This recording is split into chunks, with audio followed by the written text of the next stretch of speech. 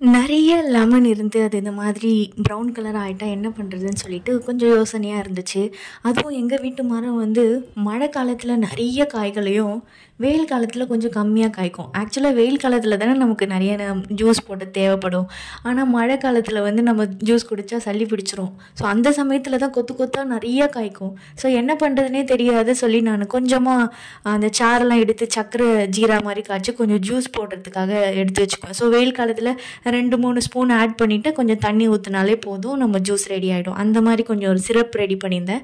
மிச்சம் கொஞ்சோண்டு லெமனை வந்து சீயக்காய் ரெடி பண்ணலான்னு சொல்லிட்டு வச்சுருந்தேன். எனக்கு டைம் இல்லாதனால அது அப்படியே ப்ரௌன் கலர் ஆகிடுச்சு சரி என்ன பண்ணலாம் அப்படின்னு யோசிக்கும் போது தான் எனக்கு இந்த ஐடியா தோணுச்சு. அப்படியே தோலெல்லாம் போ நீக்காமல் அந்த கொட்டை கூட அப்படியே நீக்காமல் அந்த மொத்தமாக மிக்சியில் போட்டு நல்லா அரைச்சிட்டு கொஞ்சமாக உப்பு போட்டேன் அதுக்கப்புறமா பேக்கிங் சோடா போட்ட உடனே அப்படியே நொர நொறையாக பொங்குச்சு.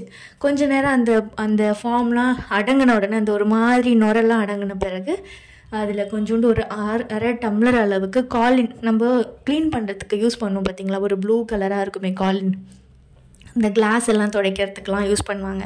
ஸோ அது வந்து எனக்கு ராவாக கிடச்சிது. அதாவது மேனுஃபேக்சரிங் இடத்துல வந்து க்ளீ கிடச்சிச்சு. ஸோ அதை நான் கொஞ்சம் ஆட் பண்ணேன். கான்சன்ட்ரேட்டடாக இருக்கும். அது கொஞ்சம் தண்ணிலாம் கலக்காமல் இருக்கும். ஸோ அதை வந்து நான் அப்படியே கலந்து ஒரு ஒரு கண்டெய்னரில் வச்சுக்கிட்டேன். ஸோ இதை வந்து நான் டேப்புக்கு அதுக்கப்புறமா ஏதாவது கிளாஸ் விண்டோ துடைக்கிறது அதுக்கப்புறம் சிங்க் ஏரியா அப்புறம் கிச்சன் கேபினெட் ஏரியாலாம் துடைக்கிறதுக்கு எனக்கு ரொம்ப யூஸ்ஃபுல்லாக இருந்துச்சு. ஸோ நீங்களும் இந்த மாதிரி வேஸ்ட்டாக அப்படின்னு நினைக்கும் போது இந்த மாதிரி நீங்கள் லெமனை யூஸ் பண்ணுங்கள் ஸோ ஒன் இயர்க்கு எனக்கு தேவையான க்ளீனிங் ஏஜென்ட்டை நானே ரெடி பண்ணி வச்சுருக்கேன். ஸோ இந்த வீடியோ உங்களுக்கு யூஸ்ஃபுல்லாக இருக்கும்னு நினைக்கிறேன். இது மாதிரி நிறைய நிறைய வீடியோஸ் போட்டிருக்கேன். அண்ட் இனிமேவும் போடுவேன். அண்ட் தேங்க்ஸ் ஃபார் வாட்சிங் மை வீடியோ ஒன்ஸ் அகெயின் உங்களுக்கு பிடிச்சிருந்தால் லைக் பண்ணுங்கள் மற்றவங்களுக்கு இந்த ஐடியாவை ஷேர் பண்ணுங்கள் அண்ட் பை uh, பை உங்கள் அடுத்த வீடியோவில் சந்திக்கும் வரை நான் காயத்ரி சுரேஷ். அச்சோ சொல்ல மறந்துட்டேன். இது வந்து ஐரிஸ் அதாவது லெமன் கிராஸ்ன்னு சொல்லிட்டு இந்த ஃப்ளேவர் இருந்தது. ஸோ இதை வந்து லாஸ்ட்டாக அந்த சிங்க் ஏரியாவில் ஒரு சொட்டு விட்டு ஒரு காட்டன் துணியில் அப்படியே தொடச்சி விட்டுட்டா கொஞ்சம் நல்ல வாசனையாக இருக்கும். அதே மாதிரி அந்த திட்டு திட்டாக வருது இல்லை தண்ணி பட்டு பட்டு அந்த சால்ட் கண்டென்ட் பட்டு தானே ஒரு மாதிரி ஆகுது ஒயிட் கலராக ஸோ அந்த மாதிரிலாம் ஆகாது.